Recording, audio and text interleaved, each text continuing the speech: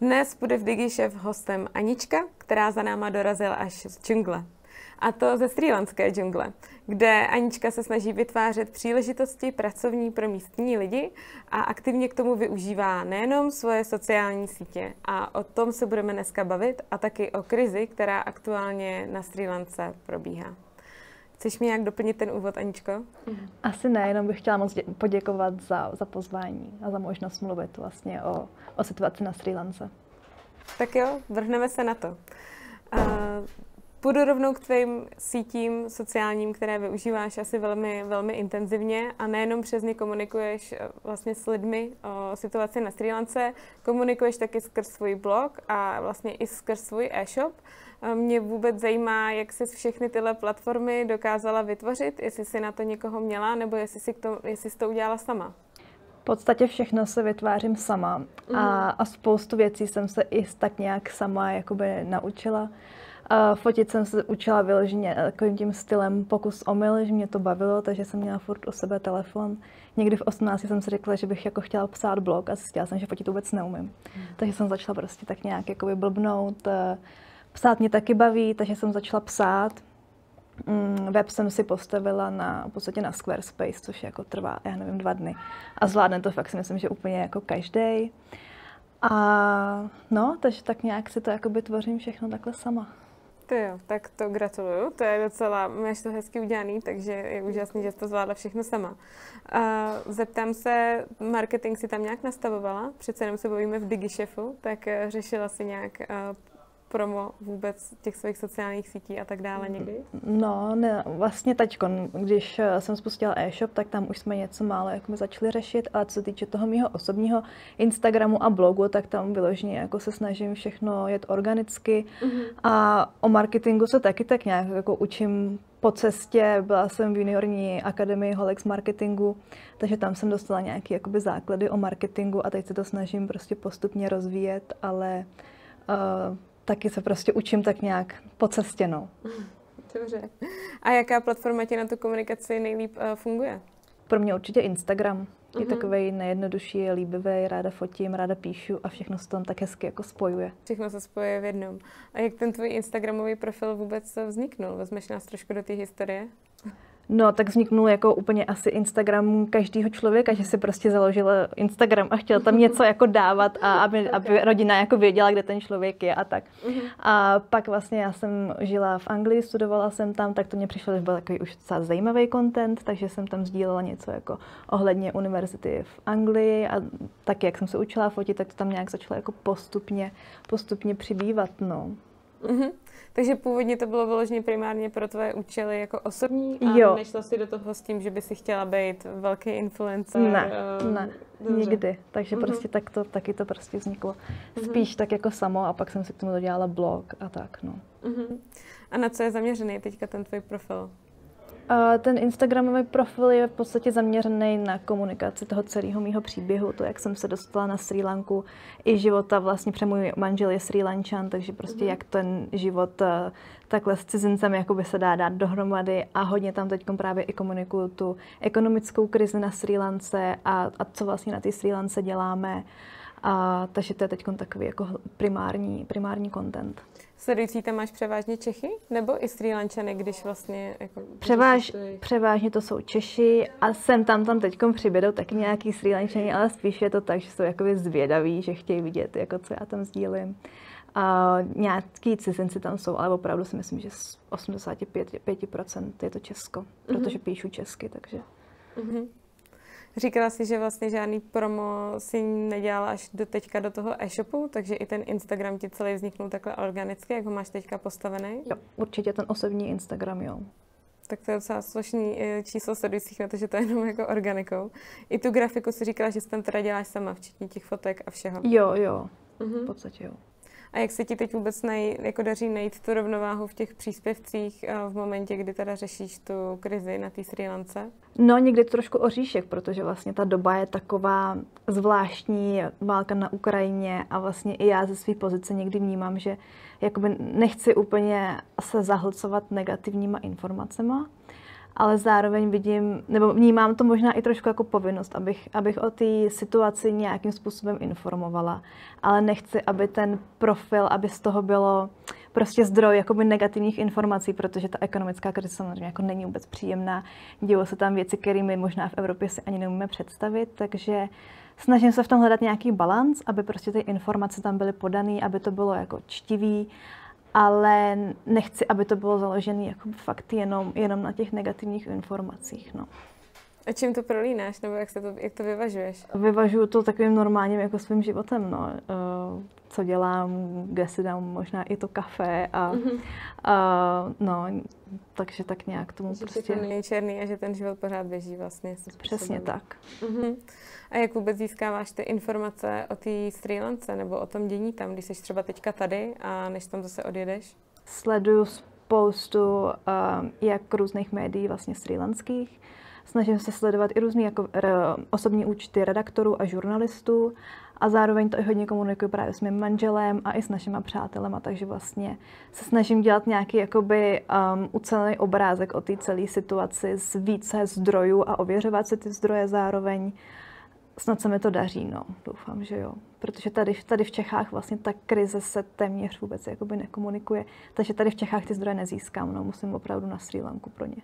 No to jsem se vlastně taky chtěla zeptat. Já mám pocit, že jako kromě pár příspěvků někde na seznam zprávách, tak uh, o tom tady moc není jako ani vidu, ani jako slechu o tom, jako co se tam děje. No, přesně tak. A vlastně to takový vtipný, že do té doby, než vlastně vyšel nějaký první článek na seznam zprávách, tak uh, jsem se setkala s tím, že se mě jako lidi ptali, a jako nevymýšlíš si to, to přesně jako není možný, to prostě my ti jako nevěříme. Teď tady o tom se jako vůbec nepíše, nikdy se o tom jako nedozvíme, no. Takže teď jsem ráda, že alespoň na těch seznam zprávách něco málo je, ale jinak prostě tady jsem, jsem to jako nedošlo, no je to furt, je to asi hodně daleko a, a je tady spousta dalších eh, aktuálnějších témat eh, na komunikaci, si myslím, který převažují. Uh-huh. A můžeš nám jenom nějak ve zkratce, nevím, jestli to jako ve zkratce, ale přiblížit teda, co se tam, co se tam jako děje, nebo co je za tak velký problém? A v podstatě dá se říct, nebo já nevím, jestli to můžu opravdu říct takhle jako napřímo, ale možná si myslím, že jo, v podstatě um, rodina, která je uh, vládnoucí rodina, vlastně je uh, Mahinda Rajapakša, který je premiér na Sri Lance, jeho bratr uh, Gotabe Rajapakša je prezident, jeho další bratr je minister financí a jeho další bratr je zase ve vysoké politice a jeho syn je prostě minister sportu. A pak je dalších prostě, já nevím, třeba 20-30 bratranců, kteří jsou uh, ve vysoké politice a dá se v podstatě opravdu říct, že oni, oni jsou u moci od nějakého roku 2004 a že tu zemi rozkradli. A opravdu došly de- devizové zásoby a hmm. ta země si nemůže dovolit nakoupit dostatek um, plynu, na kterým veškeré domácnosti vlastně vaří na Sri Lance. Chybí tam benzín, chybí tam nafta. Um, jsou hodně časté výpadky proudu, byly prostě dny, kdy, kdy třeba 13 hodin uh, přes den nebyl, nebyl proud. Takže opravdu teď tam je dost, nedostatek jako základních potravy nebo prostě základních věcí, hmm. které hmm. jsou potřeba pro život. Byly zrušeny maturity, protože nebyl papír. Jako. Co by tady asi u nás jako děti slavili? Ale no, no ale prostě no, děti taky nechodí do školy, lidi prostě ne, nechodí do práce, nemají tam jak dostat. Obrovská inflace. Um, No, takže to jedno z druhým. Jak to komunikuje ta vláda jako směrem k těm lidem? Jako jsou média nějak jako ohnutý, nebo tam jako řeší se to vůbec nějak na místě? No, řeší se to hodně. Je vlastně Kolombo, lidi, lidi v Kolombu jsou opravdu hodně vzdělaní a mají na to, si myslím, že hodně dobrý pohled. Žurnalisti dělají fakt dobrou práci. A pak jsou samozřejmě státní média, které se to snaží jako nějak uh, zaobalit a že vlastně za to rodina Rajapakšu vůbec nemůže a že vlastně oni jsou ti, kteří ukončili občanskou válku, protože vlastně Mahinda Rajapakša v roce 2009 ukončil občanskou válku a tím on se stal prostě takovým polobohem jako na Sri Lance, takže lidi k němu opravdu zhlíželi, že oni to furt to jakoby omílají, že on je takový ten hrdina, jo ale myslím si, že lidem opravdu už dochází trpělivost a řekla bych, že třeba 85% Sri Lančanů teď chce, aby, aby ta rodina jako už, už odešla. No. Mm-hmm. Jsou vůbec nějaký třeba influenceři jako na Sri Lance, který to třeba komunikují jako směrem k ním na místě? Fungují tam taky sociální sítě? Jo, fungují. Lidi jsou hodně na Facebooku, místní, takový ty jako mimo Kolombo. V Kolombu už opravdu je Instagram, už i ten TikTok jako funguje hodně dobře, Twitter funguje taky mezi jako žurnalistama a tak dále. A myslím si, že jich je mnohem méně, než třeba, co jsme jako zvyklí tady my, ale pár jich je. Je pár um, srílanských influencerů a je pár, ale opravdu hrozně málo jako cizinců, kteří žijou na Sri Lance. Je spoustu jako expatů, ale um, ty přece jenom tu situaci jako hůř zhodnotí, protože neumí jako místní jazyk, blbě se to komunikuje, ale když nějaký ten cizinec žije vlastně se Sri Lančanem, tak potom uh, to, co sdílejí, je opravdu relevantní a jako i ráda je sleduju. No. Naučila se trochu Sri Lansky? Uh, jazyk je sinhalština a snažím se, ale nejde mi to, nebo respektive jsem líná, protože si vystačím s angličtinou. O Sri Lance jsem hodně slyšela z hlediska její krásy od pláží přesně po džungli, přes výlety na slonech a tak dále. Co teďka, když tam nebudu mít prout, nebo je tam nějaká krize, hrozí mi něco, kdybych tam chtěla vyjet jako turista? Troufnu si říct, že nehrozí. Sri Lančani jsou jako úplně úžasní a oni milují cizince a, a dokážou pro ně udělat fakt jako první, poslední. Takže když nejde pro, tak um, většina hotelů má nějaký generátor, Takže jako může se to stát, takže když tam člověk jede, tak určitě by připravený mít nějakou powerbanku. Ale co týče třeba, když je fronta jako na naftu nebo na benzín a na té pumpě lidi prostě vidí, že, že tam je nějaký turista, tak vždycky je pustí dopředu. V podstatě oni si uvědomují, že turisti jsou teď jediní, kteří přivážejí dolary. A je to blbý to takhle říct, ale opravdu oni si jich neskutečně váží. A i teď, když se mě jako hodně lidí ptá na to, jako jestli na tu Sri Lanku cestovat, nebo to radši odložit, nebo to zrušit, tak já vždycky říkám, jako pokud se vám aspoň trošku chce a prostě nevadí vám možná jako maličko nekomfortu, protože se to může stát, že ten proud třeba vypadne, že nejde klimatizace. Ale kromě toho, jako ta, to cestování po té Sri se dá úplně v pohodě. Um, ty protesty, které tam probíhají, tak jsou opravdu poklidný nebo až, aspoň do, do téhle doby jako byly poklidný poměrně a jsou hlavně v Kolombu, takže v těch turistických oblastech jako vůbec nejsou a, a opravdu tam, není tam jako nebezpečno. Dá se cestovat úplně v pohodě. do džungle a nebo v tom hlavním městě, než eh, a tam, tam vlastně to bude bezpečný a místně asi no, určitě. Postarají, když to tak. Jo, jo. A svým způsobem asi té stýdance i docela pomůžu, protože jak jsi říkala, tak pokud tam nefunguje turismus, tak jim se ta ekonomika asi úplně zastaví. Přesně tak. No, v podstatě jako byl covid, takže rok a půl tam ty turisti nemohli, protože bylo zavřené letiště. A ještě před covidem tam byly teroristické útoky tři roky zpátky, takže to už byla jako taková první těvka pro ten turismus. Pak přišel covid a když, jako když se vlastně kolem nového roku začal tak nějak obnovovat ten turismus, tak přišla ta ekonomická krize. Takže to, je to pro ně už jako fakt se to tahne hrozně dlouho a ten turismus jim je teď pro ně taková jako poslední naděje a jsou fakt strašně vděční za každého turistu, který na tu Sri Lanku přijede a který tam jako i utratí ty peníze. No. To mě znovu vrací k tomu, že obdivuji, jak dokážeš vyvažovat uh, ten profil, protože když teď říkáš všechny ty informace, co se tam jako dějou, tak, uh, tak je mi z toho docela těžko, takže chápu, že je potřeba to fakt jako odlehčovat. No, je to, někdy to takový, jako že um, taky nechce, aby ten profil jako vypadal úplně sluníčkově, že něk, jako někdy je to se jako peru sama, sama v sobě, jak vlastně chce, aby ten profil zvenčí vypadal a někdy se o tom jako bavíme i s mým manželem a on jako někdy mi taky říká, hele, to vypadá jako až moc hezky, ten mm-hmm. tvůj život, takže teď je to takový, že se s tím trošku peru někdy, no. Mm-hmm. Když eh, se tam přece jenom nevydám teďka jako turista, je nějaký jiný způsob, jak vlastně můžu jako přispět na to Sri Lanku, nebo jaký můžu pomoct?